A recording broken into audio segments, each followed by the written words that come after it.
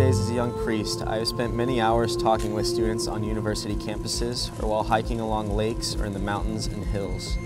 I have spent many evenings singing with young men and women like yourselves. As you probably know, I often say that you who are young bring hope to the world. The future of the world shines in your eyes. We cannot live without hope. We have to have some purpose in life, some meaning to our existence. We have to aspire to something.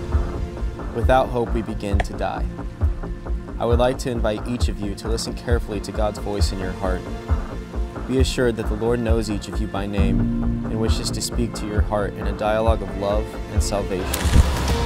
God continues to speak to young people on the banks of the Mississippi River and on the slopes of the Rocky Mountains.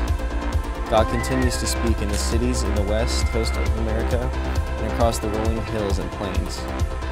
God continues to speak to every human person. Our young people of America, listen to his voice. Do not be afraid. Open up your hearts to Christ. The deepest joy there is in life is the joy that comes from God and is found in Jesus Christ, the Son of God. He is the hope of the world.